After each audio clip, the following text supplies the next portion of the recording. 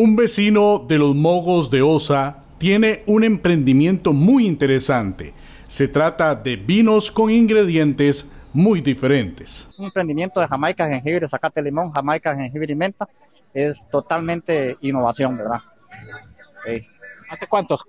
Bueno, tengo como cuatro años de estar trabajando en este, en este emprendimiento, pero que ahora pues ya se le ha logrado dar un, un plus para, por ejemplo, inscrito en Hacienda, facturación electrónica para todos aquellos hoteles y restaurantes que así tengan deseo en, en tener de nuestros vinos, ahí estamos.